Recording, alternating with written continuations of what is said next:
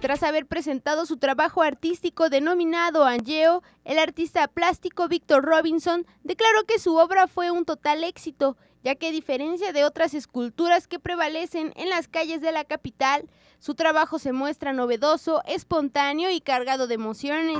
Esta exposición que colocamos aquí en el andador turístico eh, se llama Angeo y es escultura en gran formato, presentamos cerámicas, eh, escultura en alta dimensión que, también es de metal y una pieza al fondo que se llama eh, de angeo, que es de hoja de palma y, este, y textiles. Lo que busco también es como un poquito regresar a lo natural, ir mezclando los medios, eh, proponer también en términos de medios y, hacer una escultura eh, en honor a, pues, a todos los artistas, al arte oaxaqueño que creo que considera que hay que hacerlo con muy buen trabajo porque hay mucho oficio en Oaxaca.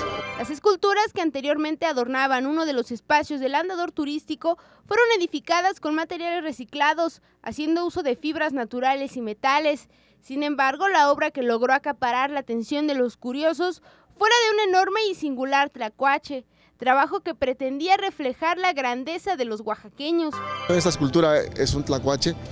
¿Por qué un tlacuache? Porque a lo mejor es un animalito que mucha gente ve como así como, como que lo hace a un lado y es un animal muy ingenioso, es, el primer marsupial que, que mandamos de acá para, para España de regreso. Este, siempre está buscando cómo crecer, siempre está luchando, siempre está pues merodeando, ¿no? Víctor Robinson explicó que una de sus metas al momento de fabricar sus obras artísticas es que el público interactúe con cada uno de los trabajos. Inclusive añadió que no le molesta que los espectadores toquen las piezas, ya que esto enriquece la interacción del público con la exposición.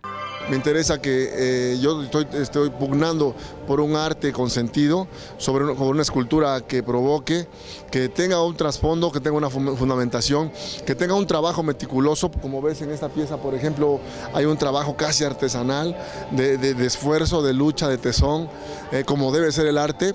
Creo que en Oaxaca el nivel de arte es, es, es excepcional, entonces como artista oaxaqueño debo esforzarme por, por, mejorar todavía el trabajo y proponer, ¿no?